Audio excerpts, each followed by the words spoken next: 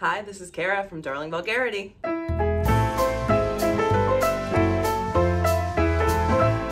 recording this video during Paris Fashion Week which led me to think about French girl style. I am obviously not French, but I have loved fashion all of my life, and there may be no style more emulated or sought after than that of the effortlessly cool French girl. From the time I was in high school watching Julie Delpy in Before Sunrise and Juliette Binoche in The English Patient, to college being totally obsessed with Audrey Tautou and Amelie, to post-college when I discovered fashion icons like Francoise Hardy and Jane Birkin, I've been low key obsessed with French girl fashion. And over the years, there are a few lessons I have learned that seem to ring true regardless of the decade you're talking about, anytime from at least the 1960s to today. These rules are size inclusive. You can probably follow them using things that are already in your closet. Buy less, style more. So today I'm going to go over these lessons from a lifetime of studying French girl fashion. Lesson number one, incorporate menswear. From Francoise Hardy to Charlotte Gainsbourg, incorporating menswear has always been part of the effortless French girl chic look.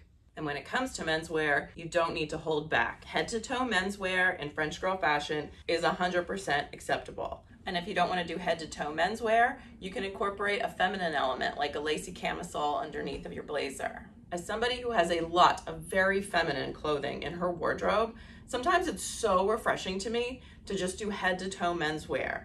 And if I'm not in that mood, I love balancing out those really feminine pieces with an oversized blazer. So there's no one way to do menswear. Just play with it a little bit and see what you're comfortable in. Lesson number two, go monochromatic. From Jane Birkin to Julie Delpy, you can find examples throughout the 20th century of French girls wearing monochromatic looks, and it always looks super chic.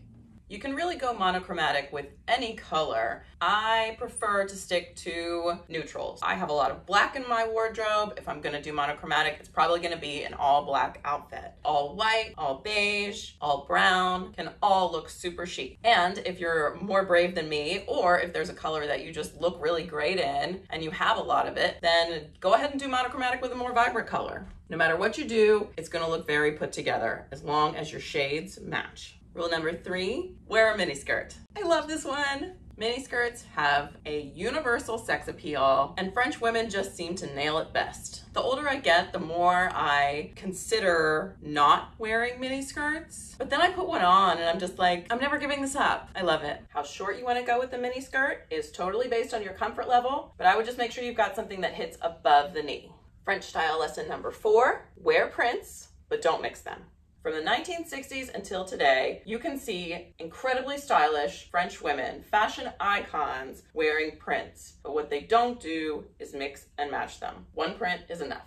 Your print can be anything from a more classic print, sailor stripe, polka dot, plaid, to something more bold like leopard print. As long as you're not doing more than one print at a time, you're golden.